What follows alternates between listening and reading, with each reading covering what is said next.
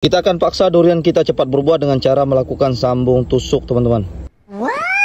Sambung tusuk seperti ini sudah lazim dalam dunia pertanian, perhatikan. Kemudian kita akan ambilkan entres durian dari pohon yang sudah berbuah atau pernah berbuah.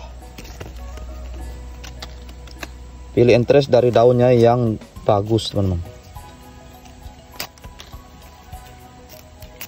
Oke, seperti ini. Kemudian kita lakukan penyayatan.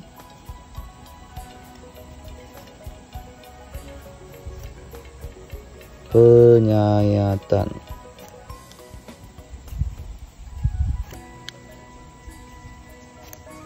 Sampai pada bagian sulur dan lancip di ujung.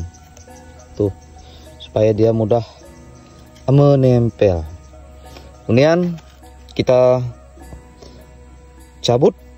Oke. Kita tusukkan.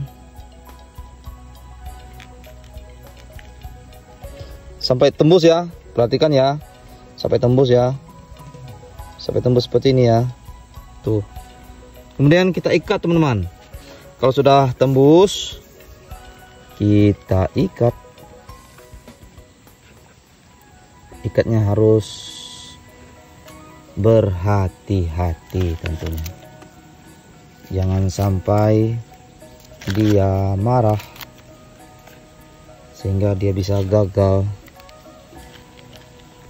Jangan sampai uh, si batang bawah ini luka atau memar kalau kita terlalu kuat ya.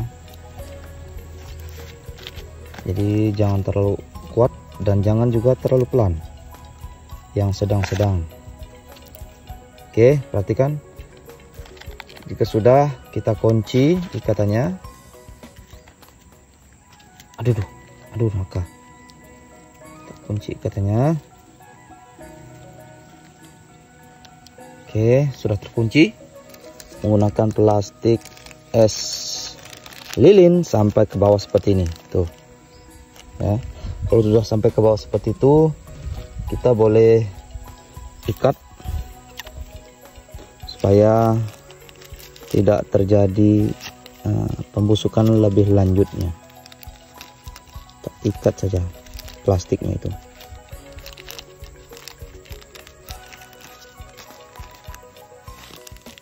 Oke. Semoga cara ini berhasil. Kita akan update hasilnya beberapa minggu ke depan. Bye bye